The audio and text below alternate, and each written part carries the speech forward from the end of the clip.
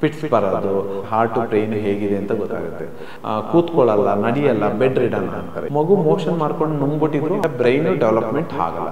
Oxygen blood ಹೋಗ್ಲಿಲ್ಲ ಅಂದ್ರೆ stage one ninety percent recovery ಆಗ್ತದೆ. ಕಾಂಪ್ಲಿಕೇಶನ್ಗೆ ಹೋಗ್ತದೆ. ನೈಂಟಿ ಪರ್ಸೆಂಟ್ ಔಟ್ಕಮ್ ಬ್ಯಾಡ್ ಇರುತ್ತೆ. ನಾನು doctor Surendra paediatric intensivist medical director ನೇಟರ್ಸ್ women and children hospital Nayandahalli sir ಇವಾಗ ಕೆಲವೊಂದು ವಿಶೇಷ ಚೇತನ ಮಕ್ಕಳು ಕೂಡ ಬಾರ್ನ್ ಆಗುತ್ತೆ. ಎಷ್ಟೇ ಏನೇ ಮುಂಜಾಗ್ರತಾ ಕ್ರಮಗಳನ್ನು ಕೈಗೊಂಡ್ರು ಅದು ಅಂದ್ರೆ ಪ್ರೆಗ್ನೆನ್ಸಿ ಸ್ಕ್ಯಾನಿಂಗ್ ಅಲ್ಲಿ ಏನಾದರೂ ಗೊತ್ತಾಗುತ್ತಾ? ಅಥವಾ ಆಫ್ಟರ್ ಬಾರ್ನ್ ಗೊತ್ತಾಗುತ್ತಾ?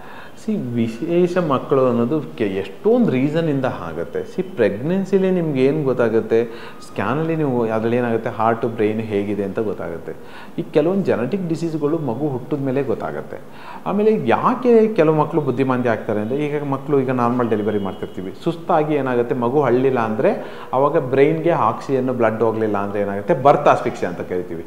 ಈ ಬರ್ತ್ ಆಸ್ಪಿಕ್ಸೆ ಆದ ಮಕ್ಕಳು ಏನಾಗ್ತಾರೆ, ಅದರಲ್ಲಿ ಸ್ಟೇಜಸ್ ಇರುತ್ತೆ. Stage one stage two stage three ಅಂತ. Stage one ninety percent recovery ಆಗ್ತಾರೆ. ಸ್ಟೇಜ್ ಟು ಮಕ್ಳು ಏನಾಗ್ತಾರೆ ಫಿಫ್ಟಿ ಪರ್ಸೆಂಟ್ ರಿಕವರಿ ಆಗ್ತಾರೆ. ಫಿಫ್ಟಿ ಪರ್ಸೆಂಟ್ ಮಕ್ಳಿಗೆ ಏನಾಗ್ತಾರೆ ಕಾಂಪ್ಲಿಕೇಶನ್ಗೆ ಹೋಗ್ತಾರೆ. ಸ್ಟೇಜ್ ತ್ರೀ ಮಕ್ಕಳು ನೈಂಟಿ ಪರ್ಸೆಂಟ್ ಔಟ್ಕಮ್ ಬ್ಯಾಡ್ ಇರುತ್ತೆ. ಹಂಗಂದರೆ ಕತ್ ನಿಲ್ಲೋದು, no eye to eye contact ಇರಲ್ಲ ಪಿಟ್ಸ್ ಬರೋದು ಕೂತ್ಕೊಳ್ಳಲ್ಲ, ನಡೆಯಲ್ಲ ಬೆಡ್ ರಿಡನ್ ಆಗ್ತಾರೆ ಇದು ಬೇಸಿಕಲಿ ಅಟ್ ದಿ ಬರ್ತು ಮಗುಗೆ ಅಳ್ಳಿಲ್ಲ ಅಂದರೆ. ಸೊ ಇದನ್ನ ಬರ್ತಾಸ್ಫಿಕ್ಸೆ ಅಂತೀವಿ. ಇದು ಮಲ್ಟಿಪಲ್ ರೀಸನ್ ಆಗುತ್ತೆ. ಇಲ್ಲಾಂದರೆ ಮಗು ಮೋಷನ್ ಮಾಡ್ಕೊಂಡು ನುಂಗ್ಬಿಟ್ಟಿದ್ರು ಆವಾಗಲೂ ಕೂಡ ಈ ಪ್ರಾಬ್ಲಮ್ ಬರುತ್ತೆ.